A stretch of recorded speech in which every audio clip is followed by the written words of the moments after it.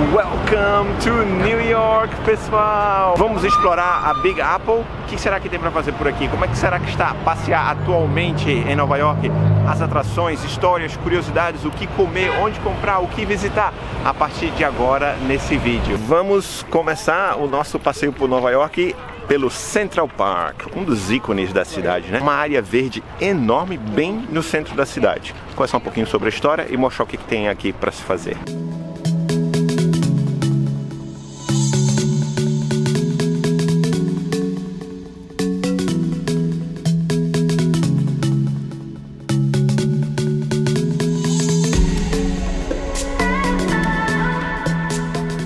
Central Park tem uma área enorme e que foi preservada originalmente de uma área habitada. Olha só que interessante, aqui viviam negros americanos, isso até os anos 1800.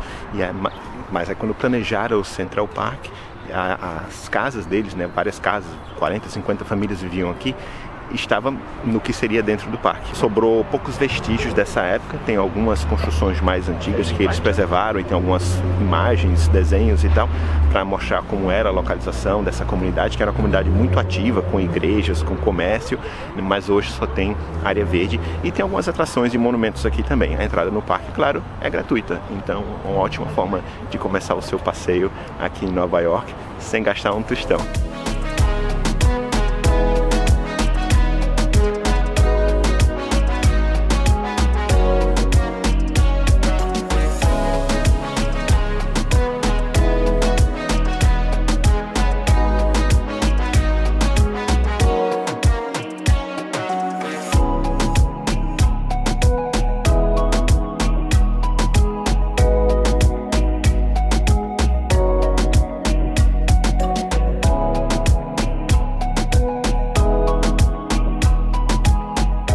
Estamos na uma das principais avenidas aqui do centro de Manhattan, que é a Fifth Avenue. Aqui, ou a Quinta Avenida, se você preferir, é onde ficam as principais marcas, lojas de grife. Essa é, as principais marcas, lojas de grife, designers e de Gucci, uh, Tiffany, todas essas marcas famosas estão aqui. Sorry. Are you alright? It's, there's something here. A Quinta Avenida começa numa das esquinas do Central Park e vai até a livraria pública. Então vamos caminhar algumas quadras aqui. Mesmo que você não curta compras, você não esteja atrás dessas lojas famosas, passear por aqui, pelo menos algumas quadras, é quase que obrigatório.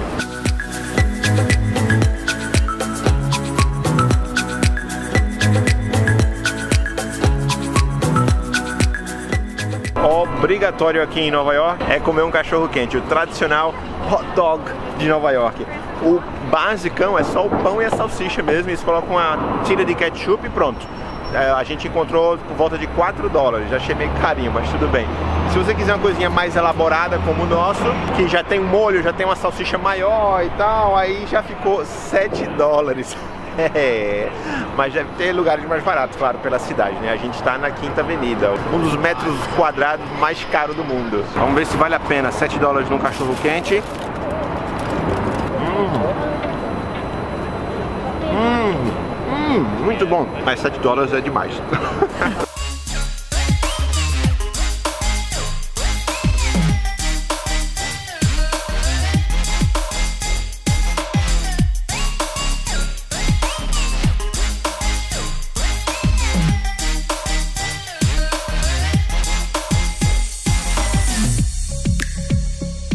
Chegamos num ponto da Quinta Avenida que tem duas atrações icônicas. Uma delas é o Rockefeller Center, que é um prédio alto que tem um observatório lá de cima também, que a gente vai depois, então eu explico sobre esse local depois.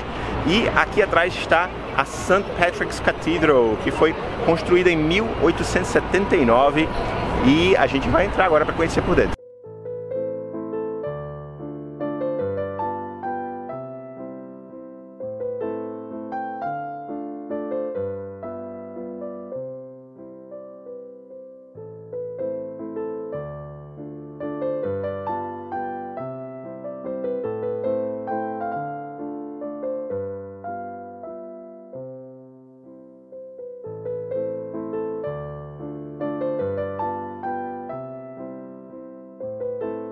Catedral de St. Patrick's é o principal exemplo aqui em Nova York do Gothic Revival, o estilo arquitetônico muito comum nos anos 1800. A porta gigante de bronze, o mármore branco da fachada e com capacidade para 2.400 assentos. Então, é uma das principais atrações aqui da Quinta Avenida.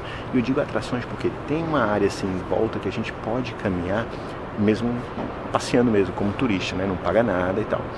E tem uma área central que são para os fiéis. Se você vier rezar, aí você tem acesso à área central. A catedral é tão rica em detalhes e a parte artística e arquitetônica tão bonita que tem até passeios, tours pagos para você conhecer cada detalhe da catedral.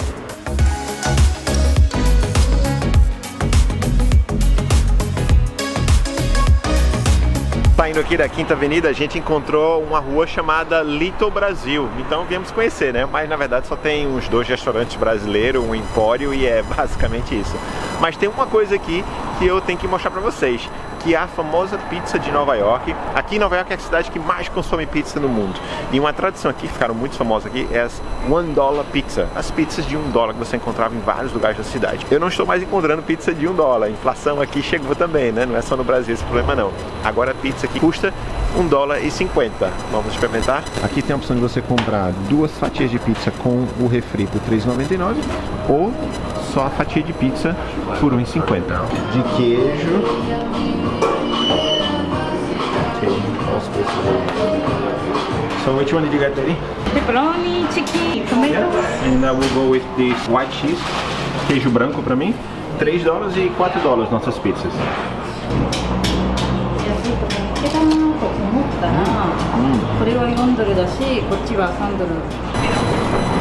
安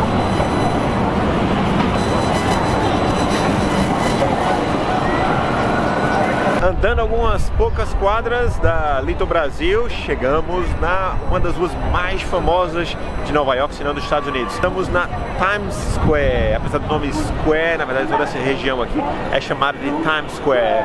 E vamos ver o que, que tem para ver por aqui. Curiosamente, Times Square ganhou esse nome em 1904 em homenagem ao jornal New York Times, que tinha a sua torre aqui, a sua sede aqui. Em Times Square você vai encontrar artistas de rua, muitos shows, tem, estamos próximo a Broadway aqui também, então tem muitos anúncios de teatro, de cinema. É uma área assim muito movimentada de dia e de noite, mas a noite fica ainda mais bonita. Então, fica a dica.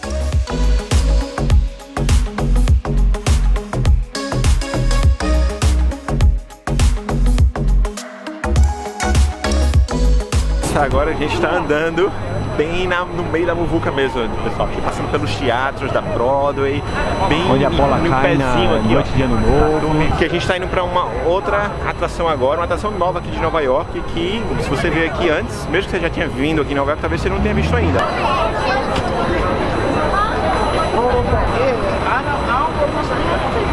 Para chegar na próxima atração, nós vamos de metrô. Nós estamos usando esse Metrocard aqui que você compra nas máquinas, nas estações e carrega com valor ou carrega com tempo. Cada tarifa aqui de cada corrida dá 2,75. Ou você pode pagar 33 dólares mais um no cartão para correr para usar a semana toda de forma ilimitada. E é isso aqui que a gente tem. Então você pode entrar e sair de todos os trens, de todos os metrôs aqui da cidade ao longo de uma semana.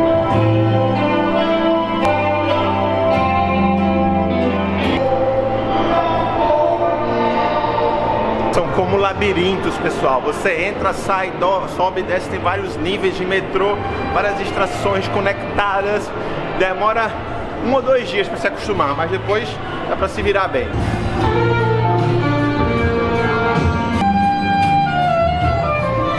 Claro que você pode usar também táxi, Uber aqui pela cidade, né, pessoal? Mas o trânsito é muito pesado na maioria dos horários. Então você acaba perdendo muito tempo tentando usar Uber e, e táxi. Por isso que a gente prefere aqui em Nova York usar o metrô. Uma forma que você pode fazer é Google. Você coloca aqui onde para você está indo, escolhe transporte público e o Google vai te dar as rotas, as estações e você seguir as orientações. Se você não fala inglês, vai dar trabalho, pessoal. Então, talvez o Uber seja melhor, mas pra gente está funcionando muito bem.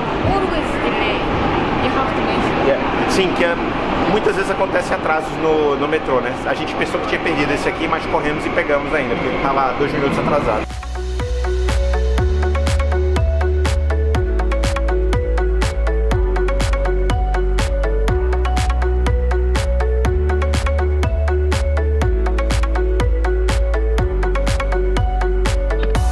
Depois dessa aventura nos metrôs de Nova York, estamos na área chamada de The Hudson.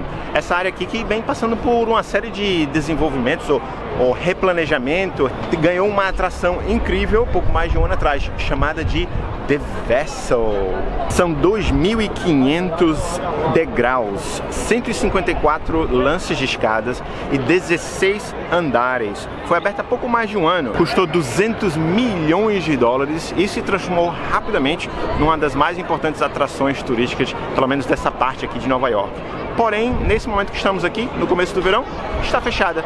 O site simplesmente diz temporariamente fechado, então a gente não vai poder ver a vista lá de cima. Mas aí vocês fazem assim, quando vierem, se tiver aberta, escreve aqui nos comentários pro pessoal. É legal mesmo lá em cima? Vale a pena a visita? Tô falando com vocês do futuro, né? Me fala aqui como é que está atualmente para vocês. O monumento inteiro tem 46 metros de altura e uma informação triste é que teve algumas pessoas que se suicidaram aqui. Porque quando você olha assim, a parede de proteção ao lado das escadas não é tão alta assim, é como se fosse uma escada normal. Então aparentemente as pessoas estão tentando se matar daqui da atração. Três pessoas morreram, aí eles decidiram fechar por um tempo, reabriram, mas aí mais uma pessoa se matou.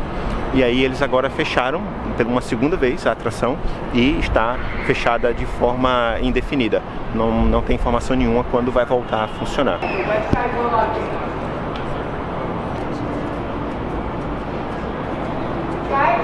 Show me your photo. Exit will be straight across, Fred. Bem do lado do The Vessel, agora a gente vai conhecer mais uma nova atração de Nova York. Nova não, já existe há um tempo, mas foi expandida, cresceu mais recentemente. Essa área é chamada de Highline, que era originalmente uma linha de trem que agora é uma espécie de uma trilha com árvores, virou um parque onde você tem vistas belíssimas da cidade. Vamos conhecer? Olha que legal ali onde passava o trem, pessoal, por cima da cidade, então você tem uma vista bacana das ruas e tem a área com plantas, árvores que foram plantada nos últimos anos. Olha só como é, era essa área antes, pessoal. Só passava o trem aqui, os cavalos, olha assim, era um trem suspenso, ó.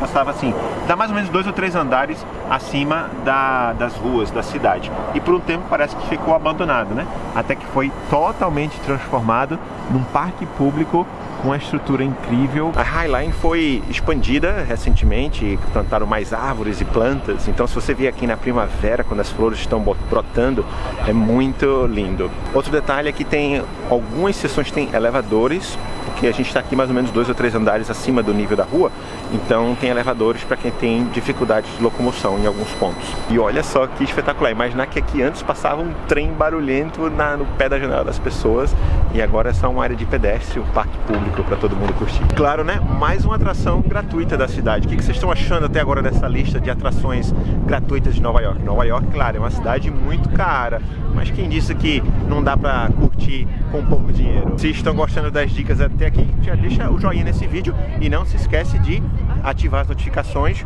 para não perder o próximo episódio, que a gente vai conhecer os ícones de Nova York, as áreas mais famosas, as atrações que todo mundo, mesmo que nunca vê Nova York, conhece, já viu na TV, já viu no cinema, isso aí eu tô deixando pro próximo episódio. Então, volta aqui no canal daqui a alguns dias para não perder a parte 2. E lembrando que para acompanhar nossas aventuras em tempo real, aí você tem que correr no Insta, tá? Para fotos, vídeos, stories, lives e às vezes conteúdos extras que acabam não entrando aqui no canal, vocês encontram lá no meu perfil no Instagram.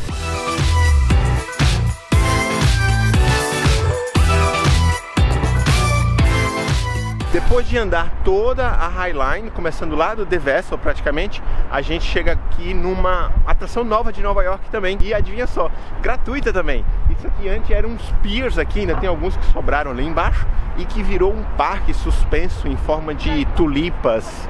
Vamos conhecer. Esse é mais um exemplo de uma área que estava basicamente sem utilidade, tinha uns piers aqui que sobraram ainda e que virou uma atração turística super legal, porque você tem um ponto sol magnífico aqui.